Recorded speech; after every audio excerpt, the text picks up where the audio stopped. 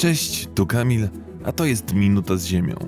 W tej chwili Twoje ciało i ciała większości zwierząt produkuje cenny odnawialny surowiec, który mógłby zostać wykorzystany do zasilania i ogrzewania Twojego domu. Tak się składa, że kupa zawiera surowce niezbędne do produkcji gazu metanowego, który możesz spalić, aby wytworzyć energię lub ciepło.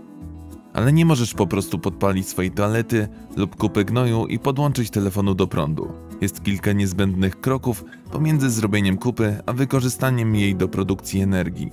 Po pierwsze, musimy zebrać kupę, a w przypadku ludzkiej kupy oddzielić ją od wody ściekowej w oczyszczalni, która pozostawia po sobie tłusty osad, co jest tak obrzydliwe jak brzmi.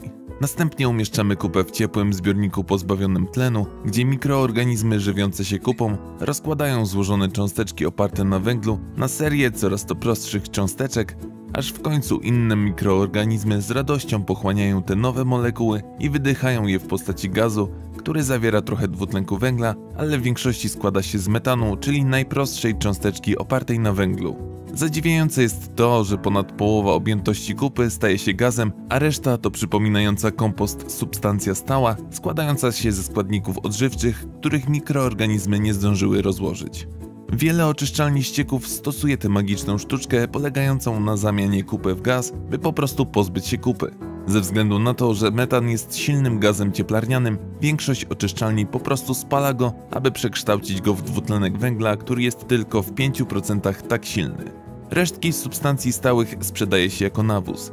Kilka zakładów zaczęło jednak robić podwójną sztuczkę, spalając metan w generatorach do zasilania swoich działań lub w piecach do ogrzania swoich budynków, a niektóre produkują tak dużo gazu i energii elektrycznej, że zaczęły ją sprzedawać.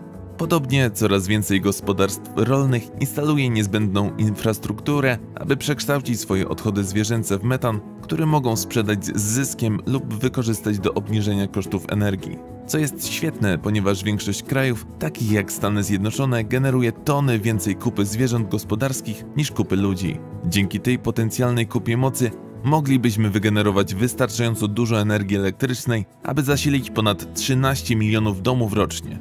Jeśli przestaniemy marnować nasze odpady i w pełni przyjmiemy moc kupy, nasze doskonałe odchody mogłyby nawet stać się największym źródłem energii w Stanach z tonami inwentarza jak Iowa. Czyli nasza dwójeczka byłaby dosłownie numerem jeden. Zapraszamy do subskrybowania naszego kanału Minuta z Ziemią. Daj nam łapkę w górę i bądź z nami na bieżąco.